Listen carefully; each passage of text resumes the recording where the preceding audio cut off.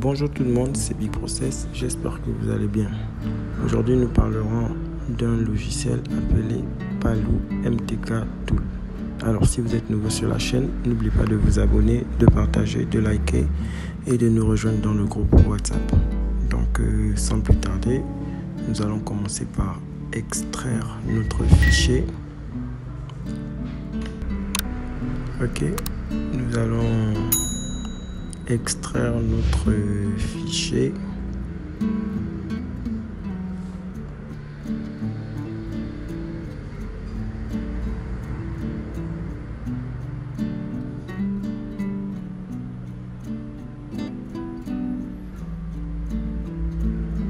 D'accord, extraire.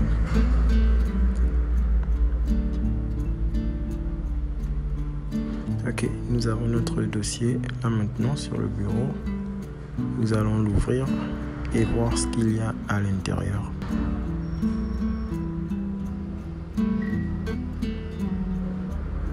Ok, comme vous voyez, vous avez juste euh, un outil ici, un fichier, un seul fichier exécutable. Donc, euh, nous allons l'exécuter.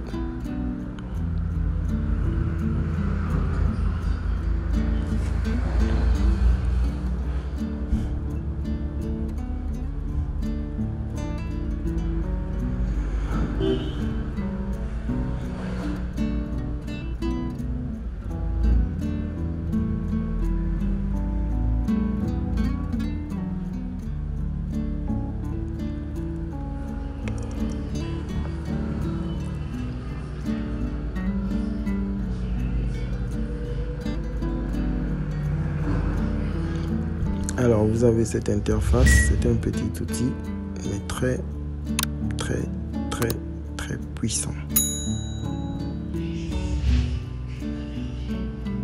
Alors, comme vous voyez, il y a même la transparence, c'est sympa ça.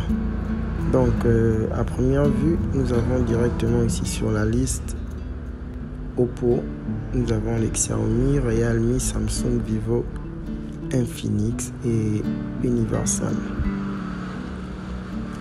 Donc, euh, comme vous pouvez bien connaître déjà avec tous les autres tools que je présente, vous n'avez juste qu'à choisir le modèle dont vous voulez faire le travail.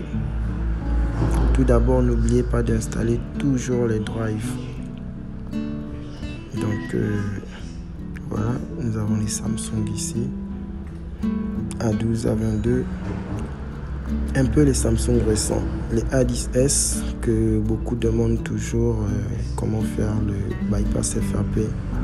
Donc euh, vous avez le reset FRP ici. Ok, comme vous pouvez bien voir. Je vais stopper. Donc ici, sur les paramètres, vous avez l'installation des visuels C++ pour les drivers USB et les pilotes. Donc euh, c'est un outil très sympa.